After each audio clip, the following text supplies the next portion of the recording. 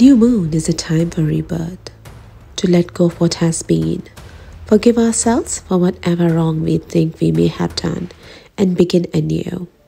In many cultures, the new moon is the beginning of the new month. It also represents a time of spiritual rest when we can contemplate what we want in our lives and plant the seeds of those desires that they may grow with the lunar cycle. Kali a Hindu goddess of 100 different names, can help us in our work with the new moon.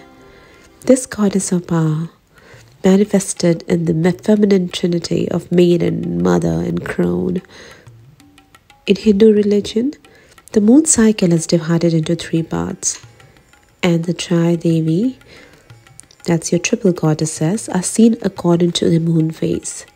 Shukla, Pratipada to Shukla Dashmi, that's your waxing moon day, 1 to waxing moon, moon day 10 is represented by Goddess Durga.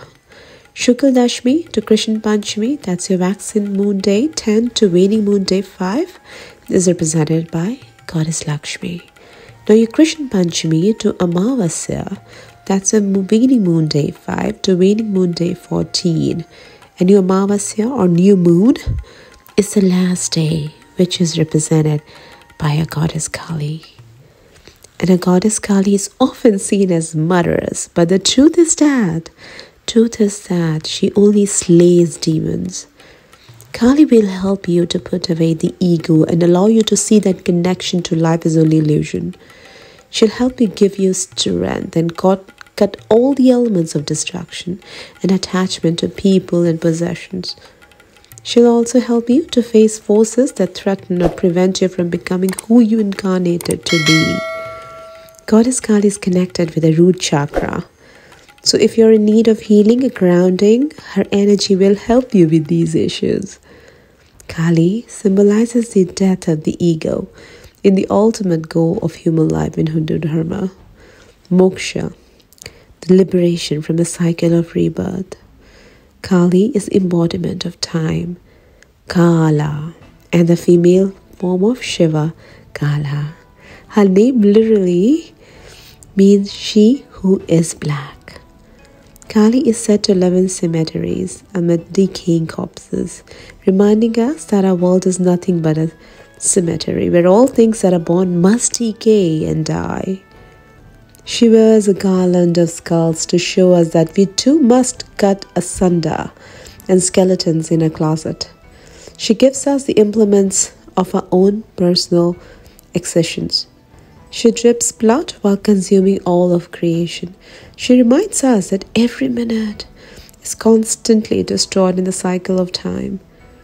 We must rise above this manifested world to see her, see her in her infinitude just as Sri Ramakrishna Paramahansa, great saint of Bengal, saw. He found in her the benign, all loving mother. He felt in her breath the soothing touch of tender love and saw in her the seed of immortality. Born of Vishnu's sense organs, or perhaps the composite of Brahma, Vishnu, Shiva, and the glory of the Devas. She encouraged us to come to our senses to teachers like Sri Ramakrishna.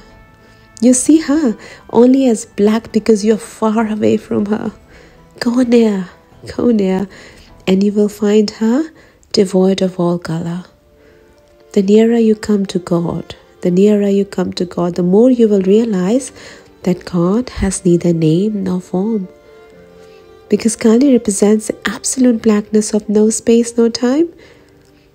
She represents a sh- you know your subconscious cleansing that we need. That's what Kali represents, and that why it reflects with the new moon, and it comes at night because it's the unknown, the demonic, the darkness in me, the tamasic nature in me. We I know we all want to be good. We all really want to do right thing. But we are really not very good, right? That's the truth. We can't help but think negative thoughts or gossip or destroy or hurt others. That's very human. It's a human nature thing. But when we meditate, do inner work, do subconscious cleansing every day, Our inward journey through meditation helps nullify the negative karma. And you just wash out everything when you meditate. And then there is nothing. You become so hollow and empty, and whatever fear is there will just dissolve and disappear and thin down all that is laid on the self. And this is so precious. So precious. Mother Kali emerges out of darkness of the new moon night if you reach out and seek a companionship closer through your heart, she manifests in your consciousness. And as you begin to harmonize yourself with the energies, she brings you bliss. When you dissolve your consciousness in the darkness of the night, she helps you see the reality. She does. She refines your understanding of different patterns of energies and finally brings you the courage and valor to act upon your reality. So make sure, make sure to invoke Goddess Kali on New Moon Day, as it considered to be an ideal day to welcome her. You can invoke her any day, but New Moon Day is, is an ideal day to invoke her. Listen to my video on how to invoke Goddess Kali and meditate to do a subconscious cleansing and nullify our negative karma and erase the sheets of ignorance that surrounds us. When you welcome Kali into consciousness, she removes all confusions and wipes away all fears and illusions of mind through her intoxicating dance. She delivers you from all kinds of shackles. With her ferocity, she cuts through the rhythms of time and space and opens up channels through which we can receive infinite grace. She makes us alert and more receptive of higher forms of knowledge. So, devoting yourself to Kali helps you it helps you awake Kundalini Shakti, your energy, and bring a transformation within. She transforms you. She does.